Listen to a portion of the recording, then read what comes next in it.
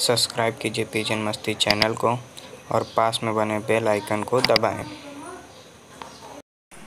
Hello दोस्तों, आपका स्वागत है हमारे चैनल पिजन मस्ती पे।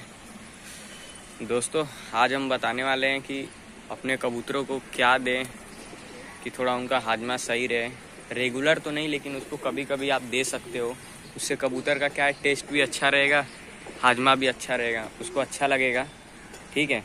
बारिश के समय में दोस्तों क्या होता है, देख लो, ये सब जो मिट्टी है, गीली हो जाती हैं तो कबूतर बराबर मिट्टी खा नहीं पाता है, जिसके कारण उसका जो हाजमा है, वो ख़राब हो जाता है। इसलिए दोस्तों आज हम आपको एक ऐसी चीज़ बताने वाले हैं, जिसकी वजह से उनका हाजमा सही रहेगा। जैसे आप एक हफ़्ते में एक बार भी डाल दोगे तो कबूतर मन से खाएगा भी और सही भी रहेगा, ठीक है? चलो, बताते हैं क्या चीज़ है वो। उससे पहले ये देखो, कुछ कबूतर उड़ रहे हैं, कुछ बैठे हैं।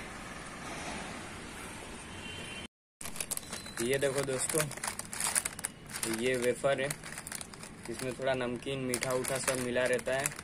इनके हाजमा के लिए भी सही रहेगा, ठीक है? बालाजी कंपनी का वेफर है। ये देख लो, ठीक है?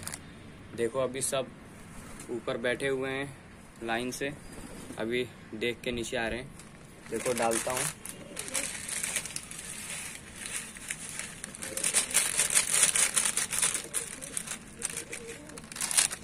ये देखो, डालते ही कुछ कबूतर नीचे आ गए, सब आ जाएँगे धीमे धीमे। दोस्तों, इसको ज़्यादा नहीं डालना है, हफ़्ते में एक दिन डाल दिया, बहुत है थोड़ा सा कबूतर का टेस्ट, कबूतर टेस्ट भी ले लेगा, और उसका हाजमा भी सही रहेगा, ठीक है? देखो, अभी मैं हट जाता हूँ, तुम देखते हैं क्या होता है। वो सब खाने लगे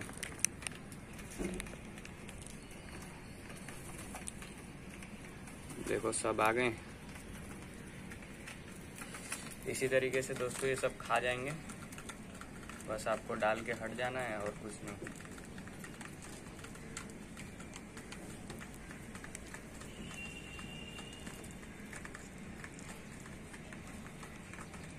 ठीक है।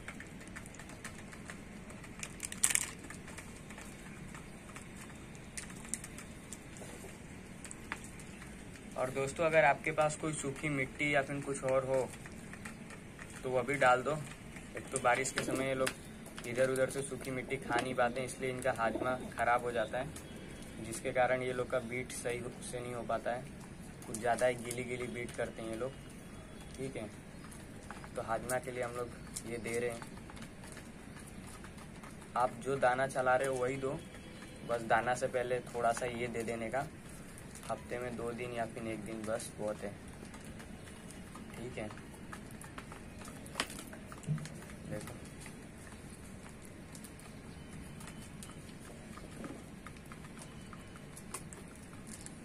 भाई।